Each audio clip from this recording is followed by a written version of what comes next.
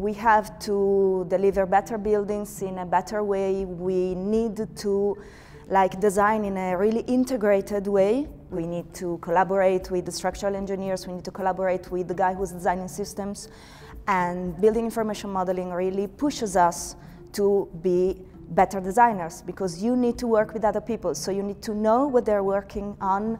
You need to broaden your set of skills, your set of knowledge. Uh, and this is a great opportunity. You need to do that, and in order to do that, you need to have an implementation plan. But I think the most important thing is you need to listen to people.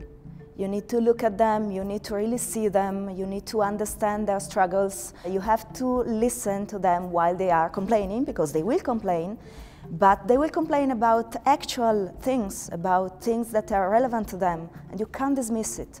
So if I have to give just one single tip is listen to your people.